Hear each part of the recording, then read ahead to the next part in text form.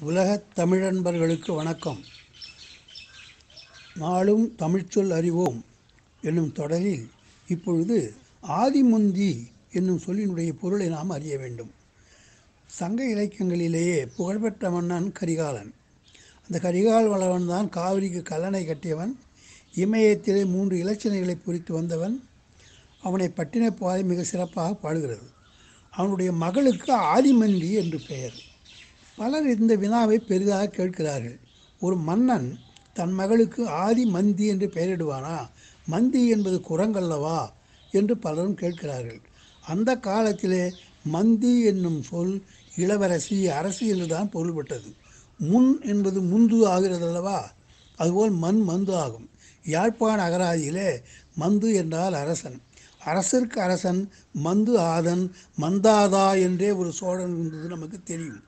எனவே மந்தி என்ற சொல் ஐய அரசி என்று அக்காலத்தில் பொருள்பட்டது பிறகு வழக்கிழந்து விட்டது ஆதி என்றால் மூத்தவள்.